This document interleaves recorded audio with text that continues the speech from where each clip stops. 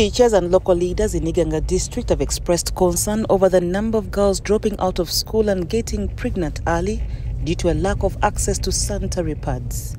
This concern was highlighted at the launch of a pad donation program for girls in Busoga region by the International University of East Africa in partnership with Msichana Pads Company.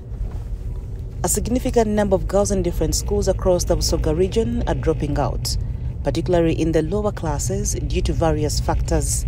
Some teachers and local leaders in Iganga district attribute this trend partly to the lack of sanitary pads for adolescent girls.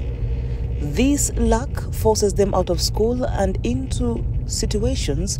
This lack forces them out of school and into situations where they are tempted by men in exchange for these essential materials. Lack of money. Is it the parents?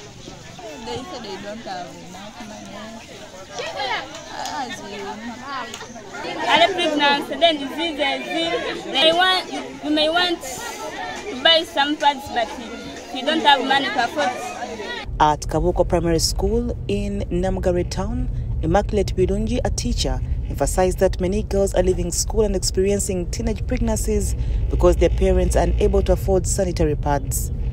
This leaves them vulnerable to exploitation by men.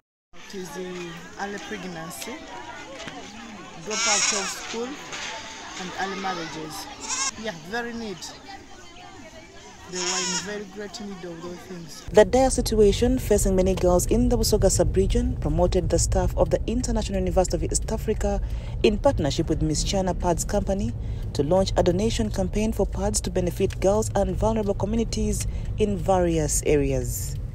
The launch took place at Inawa Sega village in Namgare sub-county where over 200 girls from different schools in the area along with women gathered to benefit from the campaign. 70% of girls in the Busoga sub-region drop out of school due to lack of sanitary towels. because of the high rates of teenage pregnancies and school dropouts due to the lack of these usable pads.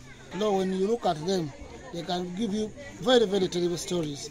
They have been just, just using clothes which are dirty, using these used, used mattresses, and even the soil, just imagine. So that situation alone forced me lobby for them these certain, pads. uh, decided to come and do uh, or donate uh, parts in this area. Reason being, uh, we found out information that uh, 70% of uh, teenagers uh, quit school because of teenage pregnancy because they cannot have money to afford uh, pads to go to school. And you find out uh, that the boda boda guys, youth within the area, they take the advantage of uh, these kids not being able to purchase pads. They lie them and they pregnant them. Hence, these students uh, keep uh, quitting school because of such problems. Report compiled by Ivan Wachibi for the news.